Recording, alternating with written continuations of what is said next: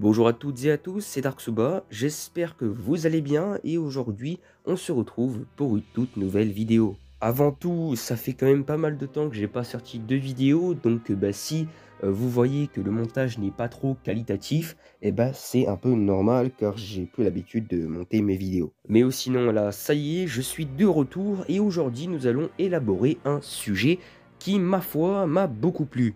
Nous allons aborder l'histoire d'un seigneur site. Je veux bien évidemment parler de Dark Andédu. Et vous allez voir que ce seigneur site est assez puissant et que surtout, il a quand même vécu pas mal de temps. En tout cas, je vous spoil pas plus et nous allons commencer directement avec la partie 1.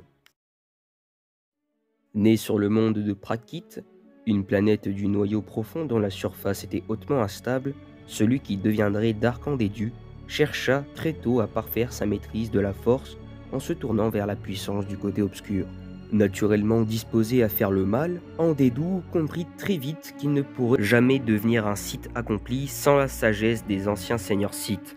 Ainsi, il quitta son nom d'origine pour rejoindre Korriban, le fief de l'ordre Sith. Là-bas, Andédou approfondit ses connaissances grâce au parchemin des anciens seigneurs Sith et acquit une maîtrise rare de la force. L'homme qui l'inspira le plus dans sa quête était Carnesmur, l'un des premiers seigneurs noirs de l'histoire des Sith. Mais au fil du temps, Andédou se forza une personnalité propre en se lançant dans une quête extravagante, se servir de la force pour vaincre la mort. À l'issue de longues recherches, le futur seigneur noir trouva un moyen de tromper la mort, en transférant l'intégrité de son esprit hors de son corps, comme utilisé des années plus tard par Palpatine. Après avoir trouvé ce pouvoir d'une puissance incommensurable, il se considéra comme un seigneur noir des Sith et imposa sa loi sur Corriban.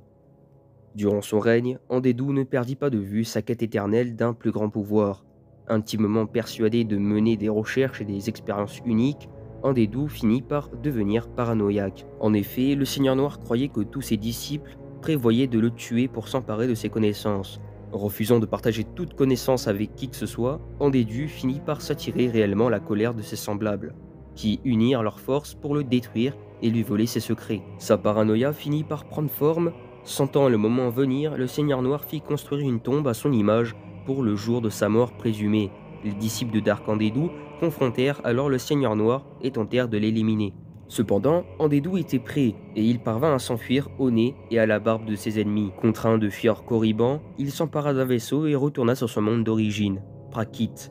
Là-bas, le Seigneur Noir était peut-être à l'abri de ses anciens disciples mais il était toujours à la merci de sa propre folie. S'enfonçant dans sa psychose et craignant de perdre tout ce qu'il avait créé, Andédou se mit à rédiger tous ses secrets sur des parchemins et des grimoires sites, et à stocker le tout dans une bibliothèque secrète nichée au cœur de sa propre forteresse. Ses plus grands secrets furent stockés dans un holocron site de sa propre création.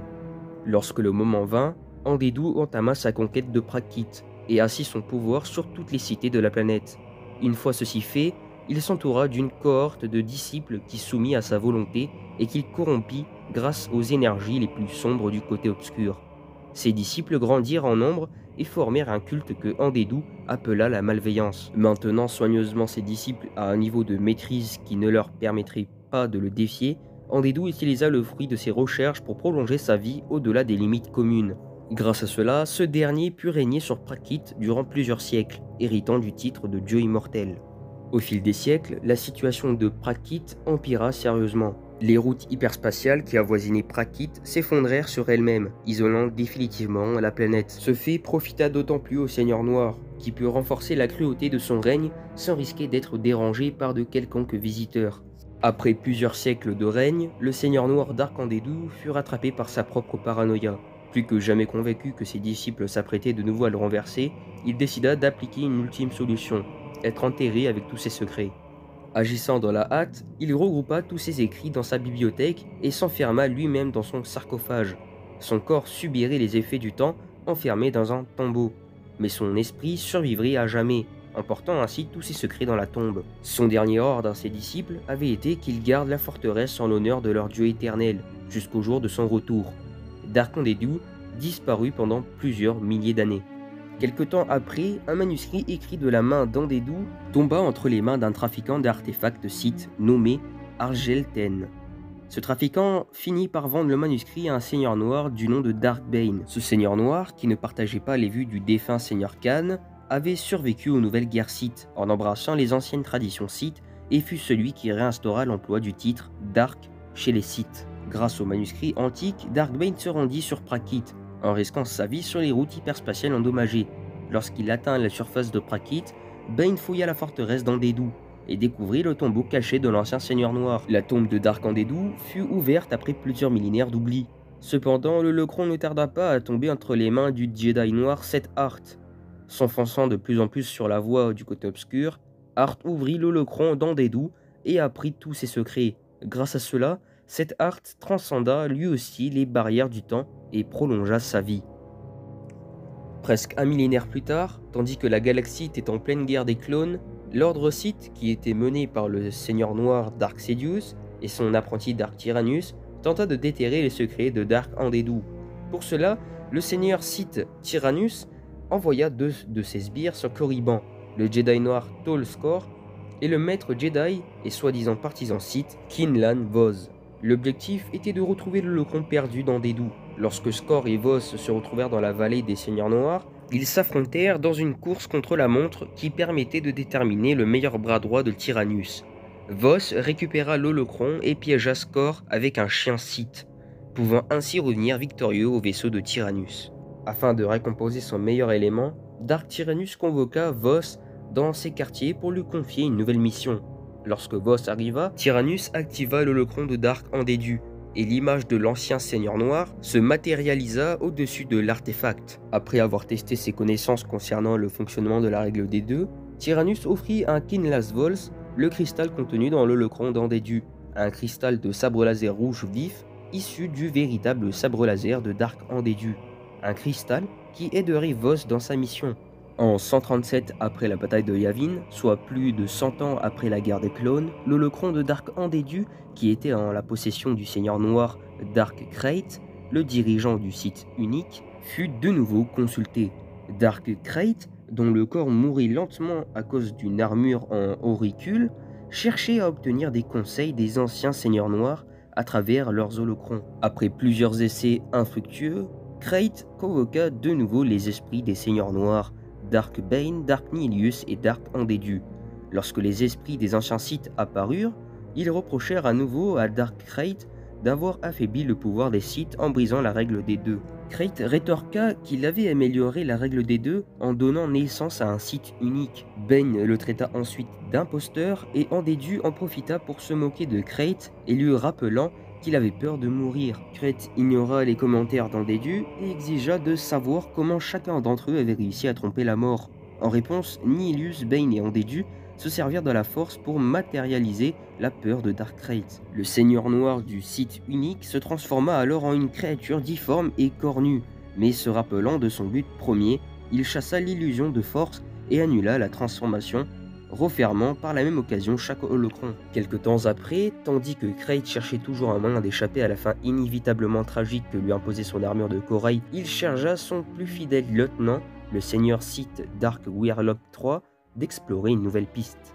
Durant ses longues recherches, Dark Weirlock étudia en profondeur les manuscrits des archives du temple Sith sur Korriban. Finalement, les manuscrits ne révélèrent aucune information susceptible de sauver Dark Krayt, et Weirlock se tourna vers une autre source d'information, le Lecron de Dark Andédu.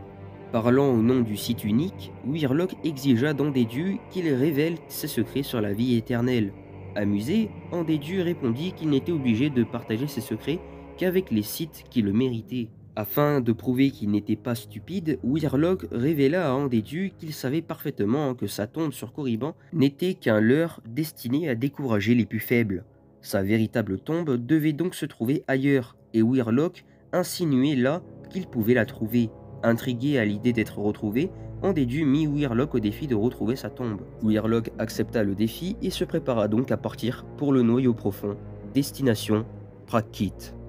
Suivant les indications de l'ancien seigneur noir, Dark Weirlock se rendit sur Prakit, à l'endroit où se trouvait la forteresse d'Andédu. En dépit de la nature fragile des routes hyperspatiales avoisinantes, Weirlock parvint à rejoindre la surface sans accroc. Une fois à l'intérieur de la forteresse en ruine, Weirlock tomba sur les disciples de la malveillance, les laquais de Dark Andédu. En dépit de leur supériorité numérique, Weirlock usa d'une illusion de force pour retourner les laquais contre eux-mêmes. Au final, il ne resta plus qu'un disciple du nom de Guerlain, et Weirlock l'épargna afin qu'il lui montre le chemin du tombeau d'Andédu. Stupéfié par le pouvoir du seigneur Sith, Guerlain se plia à sa volonté et le conduisit au plus profond de la forteresse. Une fois arrivé en bas, Guerlain fit remarquer à Weirlock que c'était un cul-de-sac, mais Weirlock était plus malin que ça, et en invoquant la simulation d'Andédu à partir de son holocron, il révéla une porte cachée dans le sol. Lorsque Weirlock et le guide entrèrent à l'intérieur du tombeau, le seigneur Sith chagrin ouvrit la tombe en pierre noire qui siégeait au fond de la pièce. L'ouverture de la sépulture révéla le corps du défunt seigneur noir et l'image d'Andédu encourageant Weirlock à placer l'holocron sur son corps. Cependant, Weirlock savait très bien qu'il s'agissait d'un piège, et il se contenta de consulter la bibliothèque de la tombe. Malheureusement, Guerlain, l'homme qui avait guidé Weirlock jusqu'ici, décida de saisir sa chance et s'empara de l'holocron avant de le placer sur le corps du défunt Seigneur Noir. Weirlock ne put rien faire d'autre que d'assister au réveil brutal de Dark Andédu, Seigneur Noir des Sith, éteint depuis presque cinq millénaires. Malgré sa longue période de sommeil, Dark Andédu se réveilla en possession de toutes ses capacités et de tous ses pouvoirs. Voyant Andédu se tenir en chair et en os devant lui, Dark Weirlock réalisa que la simulation contenue dans l'holocron n'était pas une simulation, c'était l'esprit même de Dark Andédu. Sans attendre, Andédu déchaîna ses éclairs de force sur Weirlock, mais le seigneur Sith, chagrin, part à l'attaque sans la moindre difficulté. Conscient que son adversaire était plus puissant qu'il ne voulait le montrer, Tarkandédu déclara qu'il choisirait lui-même le champ de bataille. Traitant Weirlock d'esclave, Andédu créa une illusion de force qui transforma son tombeau en un bourbier de lave et de flammes. Cependant, Weirlock connaissait l'histoire d'Andédu, et il savait parfaitement que ce qu'il voyait autour de lui n'était qu'une illusion. Andédu tenta de convaincre Weirlock que ce qu'il pensait être vrai était vrai pour son esprit, mais le chagrin rétorqua qu'Andédu n'était qu'un lâche qui avait fui ses ennemis au lieu de les affronter.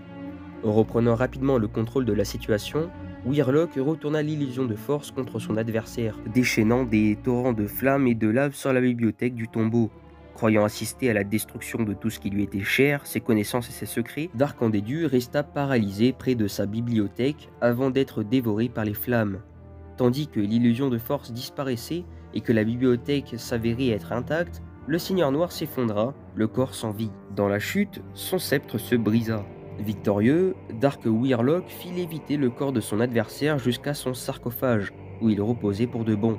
Débarrassé de son ennemi, Dark Weirlock récupéra les écrits qu'il était venu chercher et quitta Prakit pour revenir auprès de son maître. Et donc voilà, c'était tout pour la vidéo sur Dark Andédu. J'espère en tout cas qu'elle vous aura appris pas mal de choses sur ce personnage et que bien évidemment vous l'aurez plu. Si c'est le cas, faites-le moi savoir en mettant un maximum de pouces bleus. N'hésitez pas à vous abonner pour tous les nouveaux en activant la cloche des notifications. Et moi sur ce, comme d'hab, je vous souhaite une excellente journée ou une excellente soirée et que la force soit avec vous. Ciao tout le monde.